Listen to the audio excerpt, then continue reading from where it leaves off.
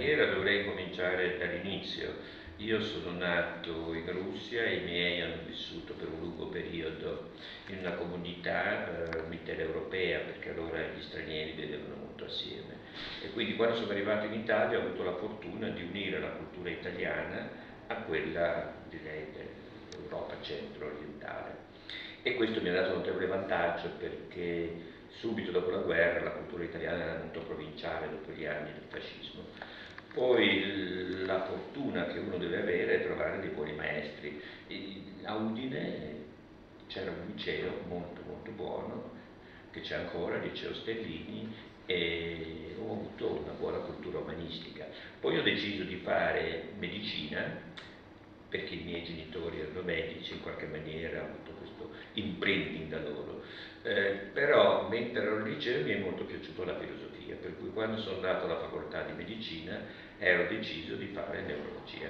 Ho fatto medicina a Padova e di nuovo ho trovato un ottimo maestro che si chiama Terziano, che poi divenne anche rettore di Verona. Terziano aveva la grande capacità non solo di insegnarti la neurologia, ma anche di occhi, dicendo guarda, e uno in quegli anni, noi avevamo molto rispetto per i nostri professori, e Terzan diceva guarda ci sono quelli intelligenti e quelli usando il linguaggio suo dice un piamona che in Veneto vuol dire non molto bravo, cioè apriva molto la mente e successivamente fu proprio Terziano che mi disse se vuoi diventare un bravo professore universitario, non uno che si chiama professore universitario ma in realtà non sa fare la ricerca, devi imparare una ricerca di base e mi mandò dal professor Moruzzi a Pisa a imparare la fisiologia il professor Moruzzi è stato uno dei più grandi scienziati italiani del Novecento, è quello che ha scoperto la sostanza reticolare e ha creato le basi moderne della concezione del sonno.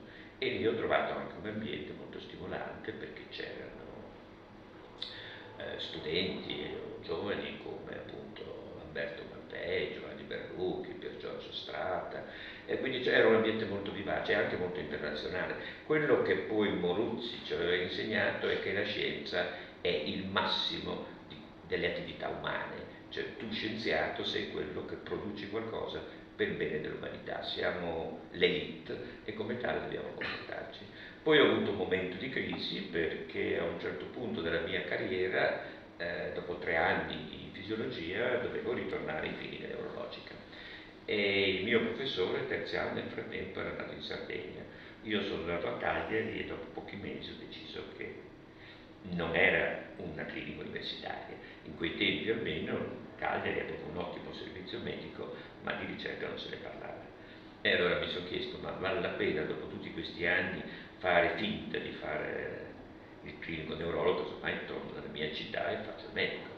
E il professor Moruzzi a questo punto mi offrì di venire a Parma dove si era aperta una posizione di assistente, sì, allora dove ero ancora di ruolo, ma comunque, ho cominciato la mia carriera a Parma con un allievo del professor Moruzzi che si chiama professor Arduini. Il professor Arduini era uno dei primi allievi del professor Moruzzi e ha fatto anche delle importanti scoperte, è quello che ha scoperto esempio il ritmo teta dell'ippocampo, uno dei ritmi base dell'elettrofisiologia però soprattutto era anche una persona molto generosa, per cui quando io sono arrivato qua mi ha aiutato in tutte le maniere. A differenza di altri professori che sono gelosi dello studente bravo, eh, mi ha dato alcuni vantaggi enormi, ad esempio quello di insegnare solo la neurofisiologia che come neurologo conoscevo e non il rene, il ciclo, eccetera. Beh, nel mondo della ricerca quello che ha passione è quando trovi delle cose nuove, cioè non bisogna pensare alla ricerca, uno va lì e dice voglio scoprire la cura per il cancro, voglio scoprire la coscienza, uno va e dice io voglio capire un po' meglio come funziona il sistema visivo.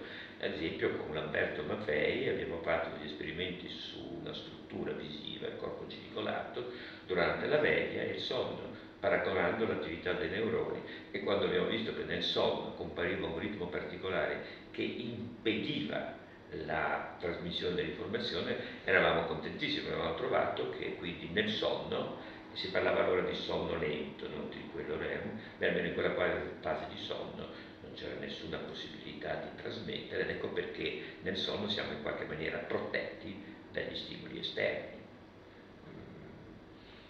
Cioè, la soddisfazione è intrinseca, poi ci sono delle soddisfazioni ovviamente di altro tipo, cioè se ti invitano a un convegno le prime volte sei tutto contento, ti senti importante, guarda. Io mi ricordo la prima volta che mi ha invitato a Parigi, il professor Moruzzi mi disse anche ma vale la pena in fondo un congresso non tanto importante, Io dico ma professore per me è il primo, eh, ci vado molto volentieri. E così andai per la prima volta in un convegno internazionale. Non è che i ricercatori fossero trattati bene una volta, perché quando io ero a Pisa il mio stipendio, borsa di studio, era la metà di quello di mia moglie che insegnava alla scuola media. Ora non è che gli insegnanti in Italia anche in quei tempi guadagnassero molti, quindi siamo sempre stati trattati male. Però c'era una speranza, cioè la speranza era di fare carriera, cioè chi era bravo non aveva dubbi che presto o tardi sarebbe diventato professore professor Moruzzi, quelli che non erano bravi li sconsigliava prima, andavano a fare i medici o cambiavano mestiere, ma chi era in qualche maniera considerato bravo restava. Quello che è cambiato ora, che con una politica demenziale, è stato deciso questo. Negli ultimi dieci anni, incominciato con Mussi e continuato con la Gelmini, siccome l'università ha molti difetti, facciamo una riforma. Nel frattempo non assumiamo nessuno.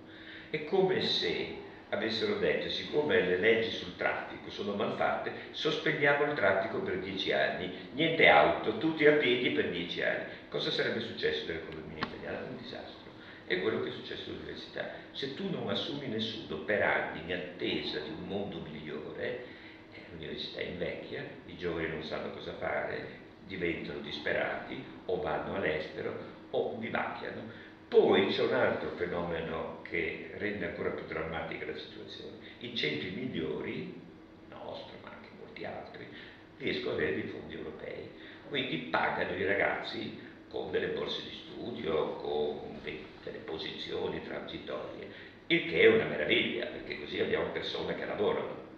Però quando cominciano ad avere 37-38 anni, noi troviamo delle persone di ottimo livello che però non si sa cosa faranno perché anche nel futuro i posti arriveranno col contagocce e quindi questa è la grande differenza, non è nello stipendio. Noi eravamo pagati pochissimo, alcuni qui facevano i medici nel carcere pur di continuare, ma c'era una speranza reale, non c'era nessun dubbio che a un certo punto avreste avuto qualcosa. Io adesso non so cosa succederà di quelli che sono qui 4-5 anni che cominciano ad avere 35-36 anni, quale sarà il futuro? Cioè, questa è stata la cosa folle. Cioè, se tu anche pensi che una struttura va male, continua però a dare un metabolismo basale. Cioè, in Francia ogni anno c'è un top posti che dà il CNR, che dà l'INSERM, che dà l'università, e quindi c'è un continuo fluire nell'università di menti fresche. Da noi no, poi è stata l'idea, allora pensioniamo prima i professori. Hanno deciso di pensionare prima i professori combinando niente, perché se tu mandi via le persone che hanno 70 anni invece che 72, non cambi molto, ma non assumi. E quindi direi, non, non, so, è stata veramente una... È bello che tutti i governi, perché è cominciato Bussi, il governo Prodi, ha continuato la Gelmini e adesso faticosamente qualcosa si sta muovendo. Questo è il dramma dei giovani, non è i soldi pochi o le carriere prolungate, ma non sapere se ci sarà la carriera. Questo è il dramma.